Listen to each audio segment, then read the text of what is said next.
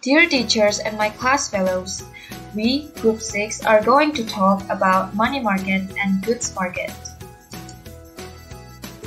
Before we jump into the material, here is our member's name.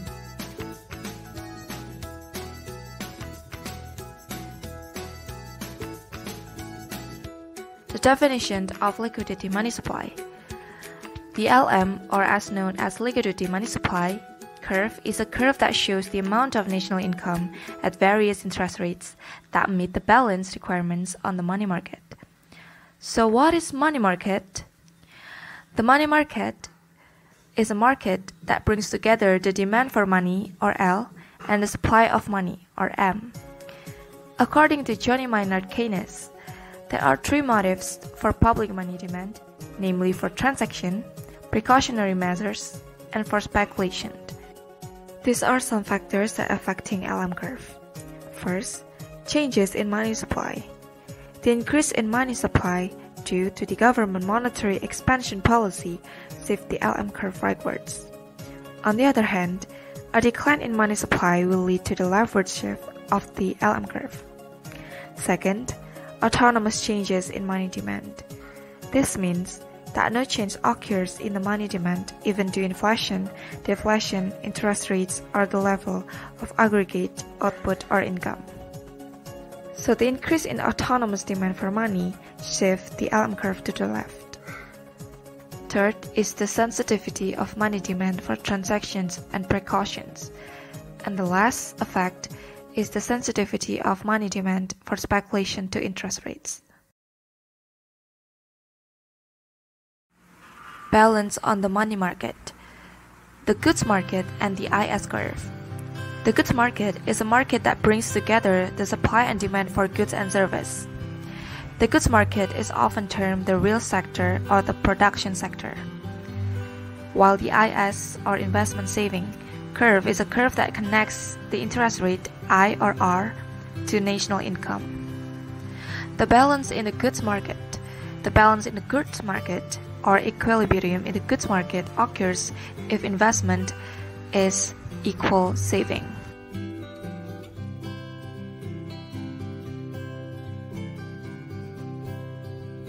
The definition of monetary policy according to UU nomor 23 tahun 1999 tentang Bank Indonesia. Monetary policy is a form of policy established and directly implemented by Bank Indonesia by controlling the money supply or interest rates in order to achieve and maintain the stability of rupiah value.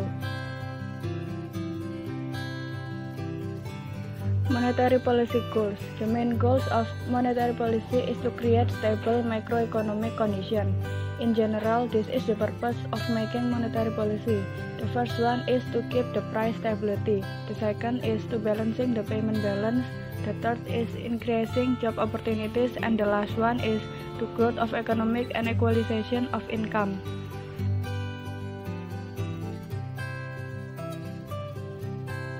Monetary policy also have a few functions. The first function of monetary policy is to increasing more job opportunities for citizens.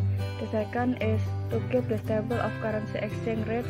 The third is to control and manage the inflation. The fourth is increasing the economic growth and the fifth is maintain the investment climate. There are three ways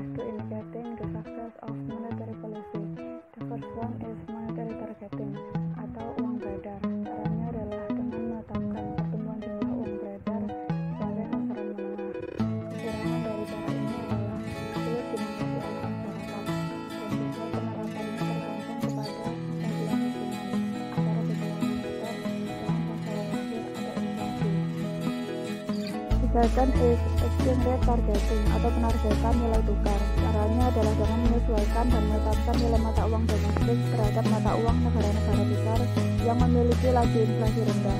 Kekurangan dari cara ini adalah rentan terhadap tindakan spekulan atau gejolak yang terjadi di suatu negara dapat langsung berdampak terhadap perekonomian domestik. Kelebihannya lebih sederhana dan mudah dipahami masyarakat, dapat meredam laju inflasi, dan penargetan nilai tukar ditetapkan dengan aturan yang dapat mendisiplinkan kebijakan moneter.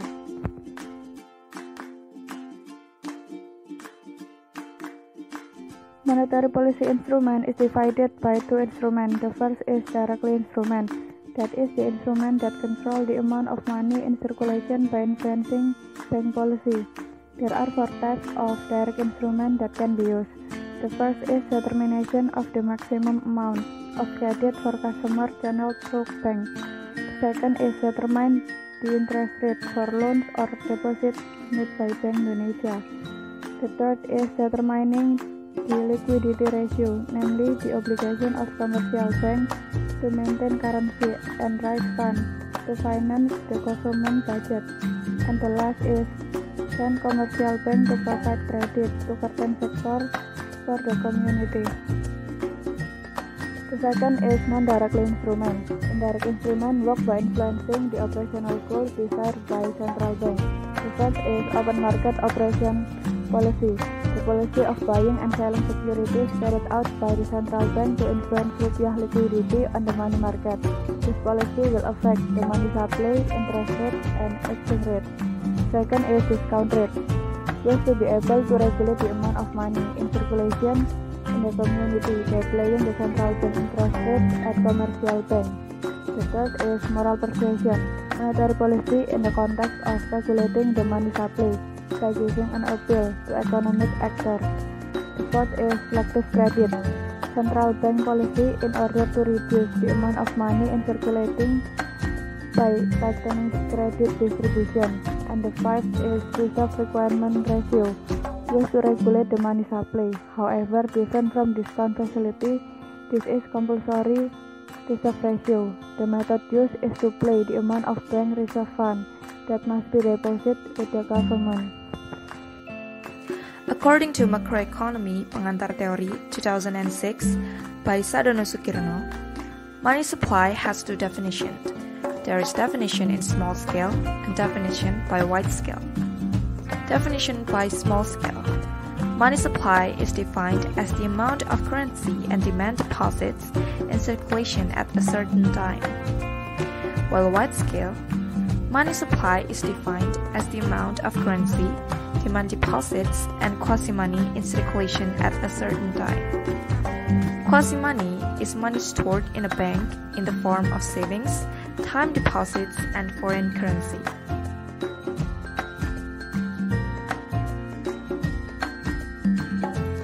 According to Economy Moneter 2014 by Jimmy Hasoloan, there are some factors that influence money supply. Namely, first, central bank policy. There are several central bank policies that affect money supply, namely the open market operation policy, the discount policy, the cash reserve policy, the selective and loose credit policy, and the new money printing policy. Second one is level of society income. Basically, the higher the income of the community, the more money the community has so that the amount of money in circulation is also higher and the other way around. Third one, price level. An increase in production costs will basically cause an increase in the price of goods and service. If the price of goods and service rise, more money must be available so that people can pay for the increase. In order for this to be fulfilled, the government must increase the amount of money in circulation. And the fourth, people taste. If people's appetite for goods and service increase, it will encourage an increase in demand for goods and services. If the demand for goods and services increase, the price will also increase. And the last is increase in the production of goods and services. If the increase in the production of goods and services is not matched with an increase in the amount of money in circulation, it will cause deflation. So that deflation does not occur, the government must increase the amount of money in circulation.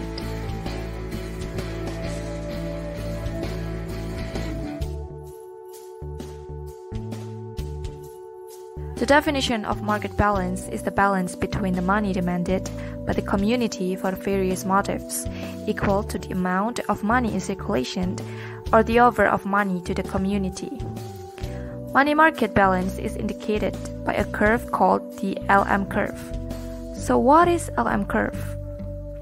LM curve, as known as kurva LM, adalah sebuah garis atau kurva yang menunjukkan berbagai hubungan antara tingkat suku bunga dengan pendapatan nasional dalam kondisi keseimbangan di pasar uang. Keseimbangan pasar uang terjadi pada kondisi fungsi permintaan uang sama dengan fungsi penawaran uang.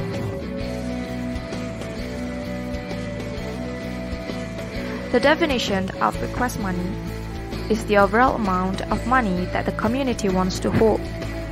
The demand for money by the public is based on three motives, namely, the motive of transaction, the motive of guard, and the motive of speculation.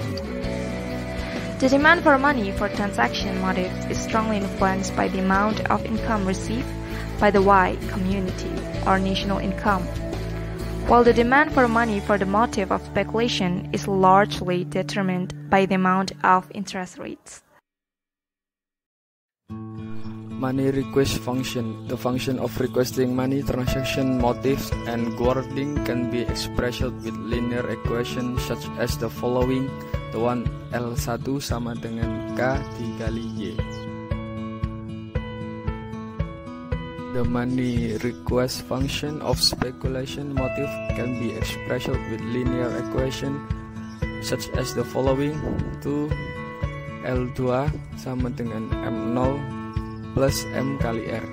Based on the two function of money, the function of money as a whole can be expressed by the following equation. L sama dengan L1 plus L2 L sama dengan K kali Y plus M0 plus M kali R. With caption K sama dengan delta L1 per delta Y. M sama dengan delta L2 per delta R dikali M kurang dari 0 R is interest rate M 0 is request money when R sama dengan 0 Y is national income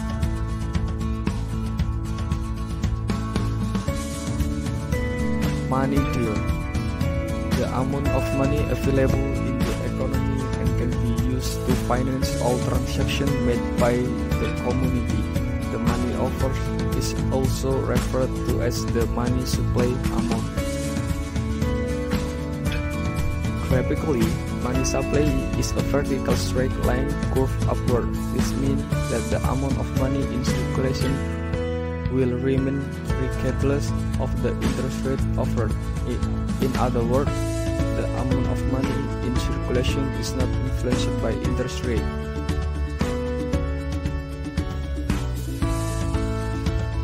y equal 1 divided by k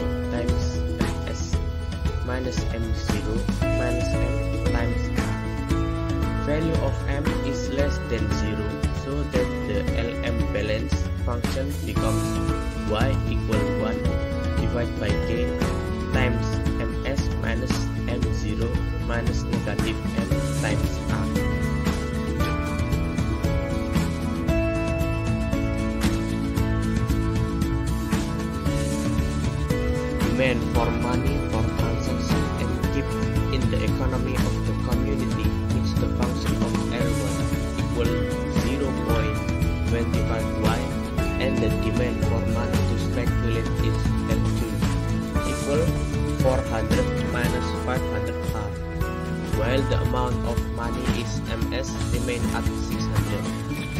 Determine the balance in the money market and draw a curve of its LM function. Units of money in trillion rupiah. A. Money market balance. L equal L1 plus L2. L equal 0.25y plus 400 minus 500 R. L equals ms. So 0.25y plus 400 minus 500r equals 600. 0.25y equals 600 minus 400 plus 500r. 0.25y equals 200 plus 500r. y equals 800 plus 2000r. B. So the balance of the money market is indicated by the LM balance function In example, y equal 800 plus 2000 r. LM money market balance curve is y equal 800 plus 2000 r. The name LM means liquidity money. The LM curve gives the combination of income and interest rate for which the demand for money for desired liquidity equals the money supply and hence for which the domestic economy is in asset or stock equilibrium.